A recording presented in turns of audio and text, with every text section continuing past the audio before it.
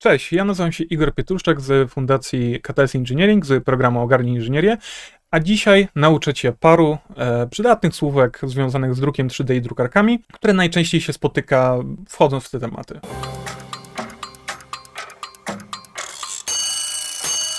A pomoże nam w tym dzisiaj nasz fundacyjny profesjonalny lektor.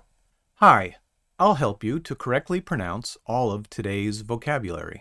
Okej, bez zbędnej zwłoki, zaczynajmy. A, zapomniałbym. W komentarzach napiszcie, jakie słówko najbardziej Was zaskoczyło albo którego nie znaliście. Dobra, zacznijmy od początku. Tak jak po polsku o drukarce 3D e, mówimy drukarka 3D, tak po angielsku używamy słowa 3D printer. 3D printer. 3D printer. No a co z modelem? Po polsku mówimy, że używamy modelu 3D albo jakiegoś obiektu 3D. Po angielsku mówimy dokładnie to samo. Mówimy 3D model. 3D model. 3D model. OK, a jak powiemy na e, nasz program do przygotowania modeli do druku? W sumie i po polsku, i po angielsku mówi się na to slicer albo Slicer. i tak naprawdę nie ma innego tłumaczenia, jest to po prostu slicer. Slicer. Slicer. Podobna sytuacja jest w sumie z naszym materiałem, którego używamy do druku. Po polsku mówimy na niego filament, po angielsku w sumie tak samo, tylko oczywiście bardziej wyszukanie. Filament. Filament. Filament. Dobra, podstawę mamy już za sobą. To teraz może powiedzmy sobie coś o samej drukarce i jej budowie. W sumie z jakiej drukarki byśmy nie korzystali, nasze wydruki zawsze będą powstawały na czymś, co przypomina tak zwany stół roboczy. Po angielsku nazywa się to Build plate. i służy dokładnie do tego, co nazwa mówi. Jest to po prostu stół, na którym powstają nasze wydruki. Build plate. Build plate. Okej, ale tak naprawdę co w naszej drukarce sprawia, że ten filament się porusza? No, jest to po polsku extruder, po angielsku jest to Extruder. Tak samo, tylko bardziej wyniośle. E, Ale tak, mówi się na to tak samo, a tak naprawdę mówimy o mechanizmie popychania filamentu w naszym mechanizmie e, drukarki 3D. Extruder. Extruder. Powiedzieliśmy już sobie o ekstruderze, e, ale możemy wejść głębiej i powiedzieć sobie o czymś, co nazywa się silnikiem krokowym. Na ten silnik krokowy po angielsku mówimy Stepper motor. Jest to po prostu silniczek elektryczny, e, który sprawia tak naprawdę, że możemy e, jakkolwiek używać naszej drukarki. To on napędza wszystkie trzy osie naszej drukarki, jak tak samo ekstruder, o którym była mowa wcześniej. Stepper motor. Stepper motor. Jedną z bardzo ważnych części naszej drukarki jest to wiatrak. Wiatrak niepozorny, bo często jest mały, czasem większy, ale służy nam do chłodzenia e, roztopionego plastiku, tak żeby e, móc bardziej precyzyjnie wytwarzać nasze elementy. Po angielsku na wiatrak mówimy Fan. Fan. Fan. I w sumie to są wszystkie główne elementy naszej, e, naszej drukarki. E, oczywiście drukarka składa się też z innych elementów. W samej głowicy możemy także mówić o takich elementach jak blok grzewczy, po angielsku Hot end. Hot end. Hot end. albo na przykład radiator, który po angielsku wymówimy jako Heat sink. Heat sink. Heat sink. Dobra, drukarkę mamy już omówioną, ale w sumie drukarka jak drukarka stoi i drukuje, ale tak naprawdę, żeby ją obsługiwać, potrzebujemy czegoś więcej, potrzebujemy tego slicera.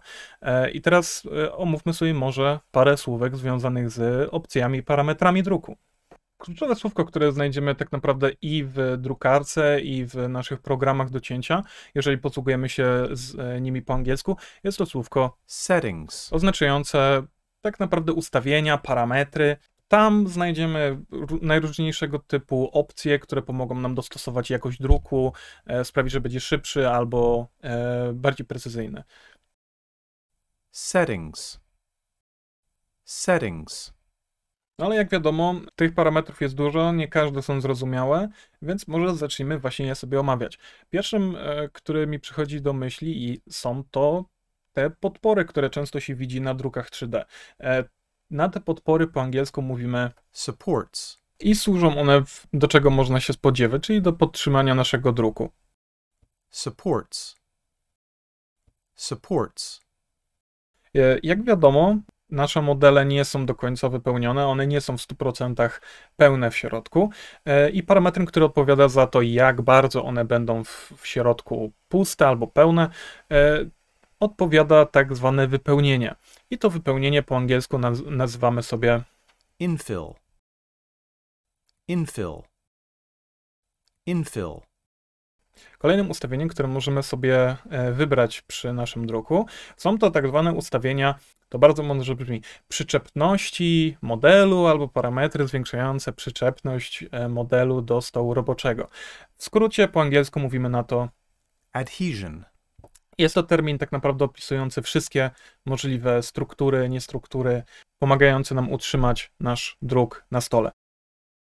adhesion, adhesion, Struktury takie jak raft, brim, albo skirt,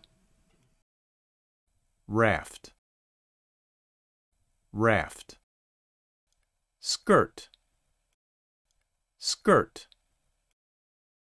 brim, brim, I w sumie ostatnim, ale chyba najważniejszym słówkiem e, jest to słówko layer, e, albo oczywiście po angielsku. layer, e, I określa nam ono po prostu naszą warstwę. Jak wiadomo, nasze obiekty 3D składają się z warstw i te warstwy określamy właśnie mianem layer.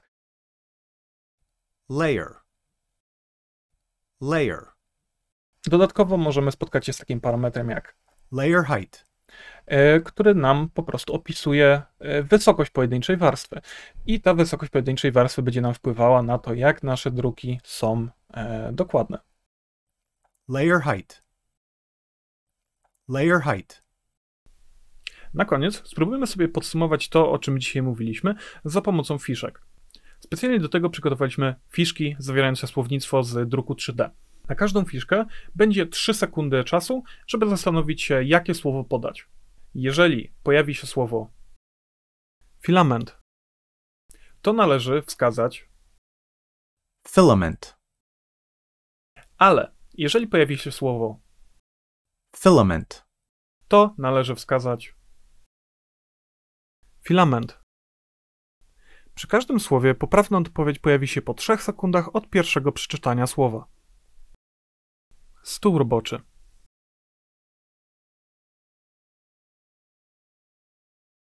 build plate, Drukarka 3D.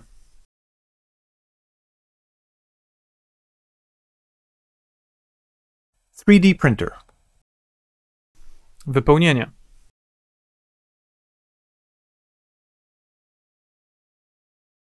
infill, Blok grzewczy.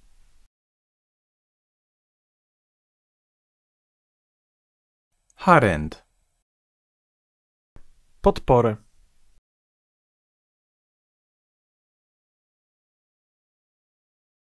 supports, settings,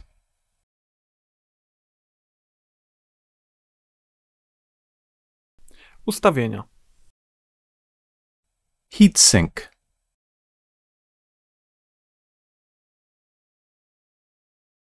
Radiator. slicer,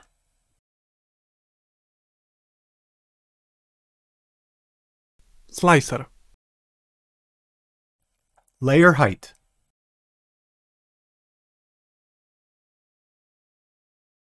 Wysokość warstwy.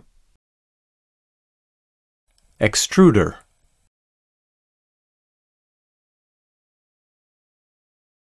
Ekstruder. Jeżeli ktoś potrzebuje bardziej stałego źródła wiedzy na temat tych słów, no to stworzyliśmy specjalnie na potrzeby tego filmu krótką listę e, w formacie PDF, którą można sprawdzić poniżej w opisie tego filmu. A jeżeli interesuje Cię bardziej strona techniczna albo tego, jak drukarka działa, to zapraszam na nasze filmy na kanale odnośnie tego tematu. Link także w opisie. I to w sumie już wszystko. Mam nadzieję, że ten filmik Ci się spodobał. Jeżeli tak, to zostaw lajka, zasubskrybuj i zostaw komentarz.